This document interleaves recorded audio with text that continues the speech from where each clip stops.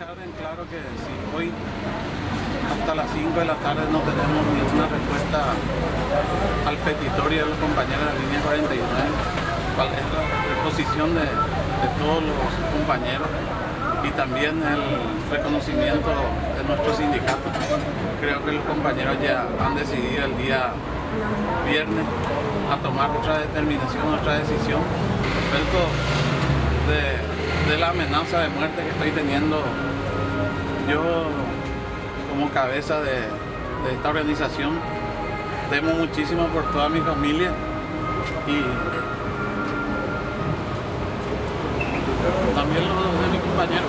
Yo tenía que haber tenido con el ministro la quinta entrevista, pero después de haber sido fijada hace 10 días y confirmada hace 3 días, el ministro se quitó de medio. Entonces yo lo que tengo que hacer hoy es denunciar al ministro porque no tiene ninguna actitud positiva para que se resuelva esto. ¿Por qué?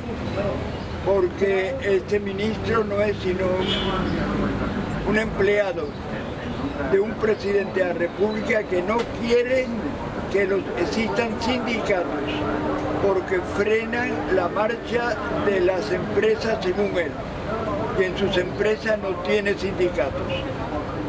Y también porque es una falta de humanidad con 91 días y habiendo ya dos compañeros que tienen dolores en un sitio tan difícil como es la espalda, que puede causarle perjuicios grandes, estos señores no hacen nada. Entonces me parece que hay que hacer aquí lo que los universitarios han empezado a hacer en la UCA y lo que los secundarios han empezado a hacer ante la ministra de Educación respecto a la, a la educación secundaria.